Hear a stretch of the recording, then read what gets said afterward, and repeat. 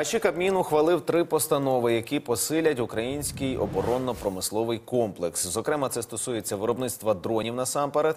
Як повідомив прем'єр-міністр України Денис Шмигаль, йдеться про спрощення у сфері виробництва боєприпасів, ціноутворення на виробництво БПЛА та оборонні закупівлі на системі Прозоро.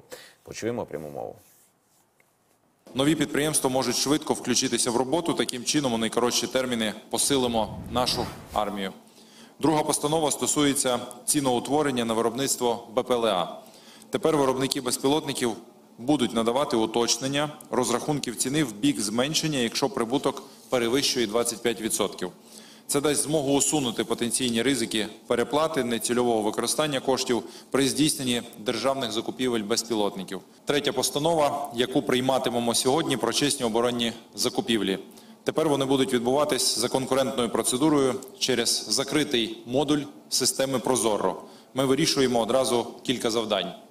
Перше, гарантуємо безперервність, стійкість та керованість постачання нашої армії усім необхідним. Друге, встановлюємо прозоре ціноутворення, коли держава не переплачує, а бізнес отримує прибуток. Третє, встановлюємо запобіжники витоку інформації, яка несе безпекові ризики.